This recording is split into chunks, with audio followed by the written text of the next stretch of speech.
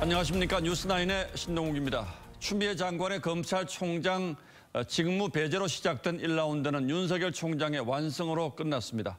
파문의 와중에 법무부 차관이 사표를 냈고 당초 오늘로 예정됐던 윤 총장 징계위는 이틀 뒤로 밀렸습니다.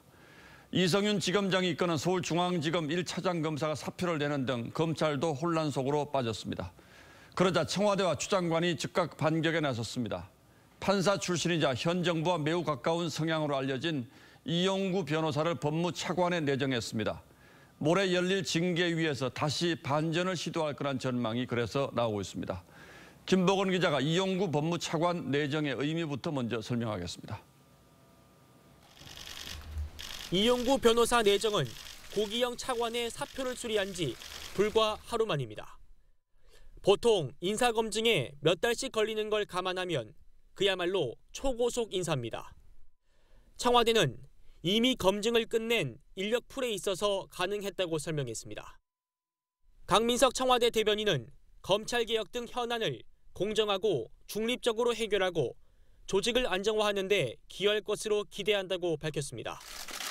내일부터 근무하는 이 차관은 윤 총장 징계 청구자인 추미애 장관을 대신해 모레 열릴 징계위를 주도할 걸로 보입니다.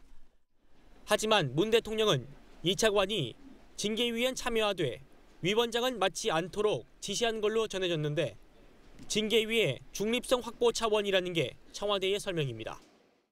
청와대 관계자는 대통령은 징계위의 결정을 그대로 집행할 수밖에 없다며 징계위가 공정하고 투명하게 열리는 것에 집중하고 있다고 했습니다. 60년 만에 비검찰 인사를 차관에 임명했지만 이 내정자는 우리법 연구회 판사 출신으로 대표적인 여권 성향 법조인으로 분류됩니다. 대한민국 법무부와 검찰은 우리법 출신 판사들이 예, 접수를 하는 게 아닌가. 오늘 차관 인사는 법원의 직무복귀 판결에도 윤 총장에 대한 징계 절차를 강행하겠다는 대통령의 의지가 반영된 결과라는 해석도 나옵니다. TV조선 김보건입니다.